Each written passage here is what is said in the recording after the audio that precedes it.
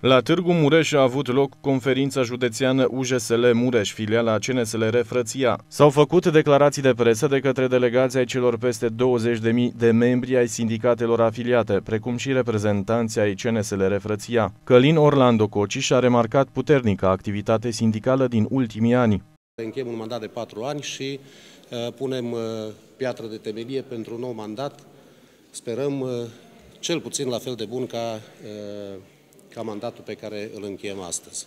Prin vicepreședintele CNSLR Frăția a vorbit despre faptul că în județul Mureș există un puternic pol sindical. Este una din uniunile care au uh, un cuvânt foarte important de spus în cadrul CNSLR Frăția. Uh, o uniune la care sunt foarte multe sindicate, sunt foarte mulți oameni, e un pol industrial puternic și sindical puternic aici în, uh, în uh, Mureș și uh, suntem într-un proces pe care trebuie să-l gândim începând de la bază de regândire a strategiei mișcării sindicale.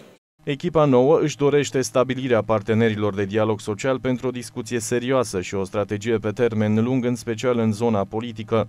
Noi n-am avut de foarte mult timp un protocol politic cu un partid politic, prin, fiind sindicate, prin doctrinar suntem undeva de stânga, deci trebuie să găsim un partid care să... și se pare că partidul de guvernământ în momentul de față are această uh, orientare.